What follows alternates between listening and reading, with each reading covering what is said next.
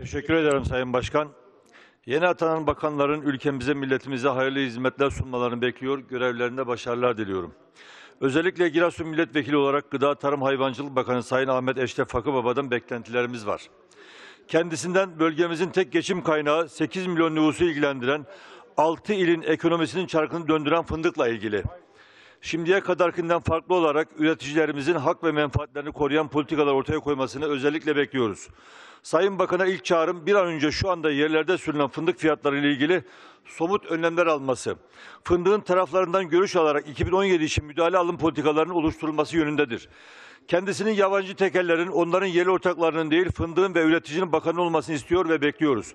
8-9 lira fındığın hakkı olan değil, sömürgenlerin oluştur, oluşturduğu bir fiyattır.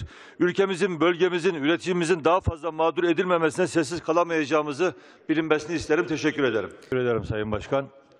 Bu iş tüzükle dünya demokrasi tarihine geçeceğiz. Milletvekillerinin konuşmasına, denetim görevi yapmasına, halkının sorunlarını dile getirmesine engel olan tek parlamento olacağız. Aslında iş tüzük kurallarına da hiç gerek yok. Zaten Türkiye Büyük Millet Meclisi'nin halkın iradesinin yansıdığı demokratik, şeffaf bir kurum, yasama organı gibi organı gibi görmeyen, hiçe sayan bir anlayış var.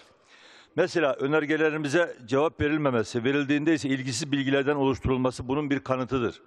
Ben fındık fiyatları ne olacak, üretici mağdur müdahale edilsin diyorum. Bana bakanlıktaki bir görevlinin yazdığı cevap yollanıyor. Doğrudan gelir desteğinden bahsediliyor, ne ilgisi varsa. Diktatörlüğe giden yolun taşları bu iş tüzükle döşenmeye çalışılıyor. Kendi kendimizi yok ediyoruz. Teşekkür ederim. Teşekkür ederim Sayın Başkan. Görüşmelerini sürdürdüğümüz iş tüzüğün amacı Türkiye Büyük Millet Meclisi'nin çalışma düzenli ve yasama faaliyetlerinin temel kurallarını belirlemek değildir. Türkiye Büyük Millet Meclisi'ni tıpkı demokrasinin diğer güçleri gibi kontrol altına almak, tek adam yönetimine uygun şekilde dizayn etmektir. Muhalefetin halkın sorunlarını dile getirmesine engel olmaktır. İktidar bu tüzükle uygulamalarını halkın temsilcilerinin denetiminden kaçırmak istiyor.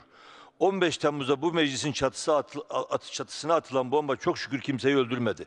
Ama bu iş tüzük parlamenterler demokrasiyi öldürecek pimi çekilmiş bir bomba gibidir.